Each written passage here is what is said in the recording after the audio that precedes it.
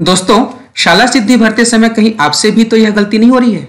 हमारे कुछ शिक्षक साथियों के माध्यम से पता चला, उनके मन में कंफ्यूजन है। जब वे डोमेन में जानकारी भर रहे हैं अलग अलग डोमेन आप देख सकते हैं, सात डोमेन है और सातों डोमेन में जो है, जो भी जानकारी पूछा गया, उसमें लेवल का निर्धारण करना है। तो लेवल का निर्धारण करते समय काफ़ी कन्फ्यूज़न हो रहे हैं। कुछ शिक्षक जो है लेवल वन को सबसे नीचे लेवल का मान रहे हैं तो कोई जो है इसको सबसे ऊपर लेवल का मान रहे हैं। कोई लेवल थ्री को सबसे नीचे का मान रहे हैं तो लेवल थ्री को कोई सबसे ऊपर का मान रहे हैं। यहाँ पर आपकी पूरी धारणा जो है क्लियर हो जाएगा, पूरा कॉन्सेप्ट क्लियर हो जाएगा। किसी भी डोमेन को जब आप ओपन करते हैं तो उसके नीचे में देखिए रिस्पॉन्स मैट्रिक्स दिया गया है। जब आप इसको क्लिक करते हैं तो क्लिक करते हैं, उसके बाद यहाँ पर कोर स्टैंडर्ड दिया गया है। इसमें बताया गया है कि किस जानकारी को किस लेवल में किस आधार पर रखा जाए। इसे आप पढ़ सकते हैं। अब इसे यदि पढ़ने के लिए यदि आपको हिंदी में ज़रूरत है तो इसका आप हिंदी में भी प्राप्त कर सकते हैं। किस प्रकार से प्राप्त करेंगे? सबसे पहले आपको यहाँ से लॉग आउट होना है। लॉग आउट होने के बाद देख सकते हैं यहाँ पर डॉक्यूमेंट का एक ऑप्शन है।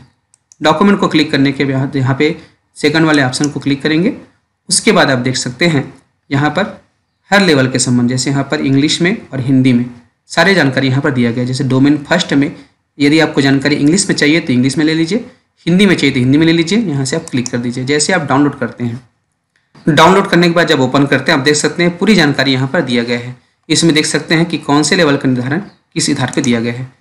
यहाँ पर देख सकते हैं, स्तर वन अर्थात लेवल वन स्तर टू अर्थात लेवल टू स्तर थ्री अर्थात लेवल थ्री अब इसमें आप पढ़ लीजिए, सार रूप में बता दूँ कि लेवल वन जो है, नीचे लेवल का है लेवल टू जो है मीडियम है, और लेवल थ्री जो है हाईएस्ट है। अर्थात इसमें जो क्रम है, बढ़ते क्रम में, ये सबसे नीचे, उससे थोड़ा ऊपर, ये सबसे ऊपर। ठीक है? तो ये जानकारी जो है आपके बीच हम रखें। इसी प्रकार से और महत्वपूर्ण जानकारी के लिए आप उज्ज्वल लक्ष्य यूट्यूब चैनल से जुड़े रहिए। धन्यवाद।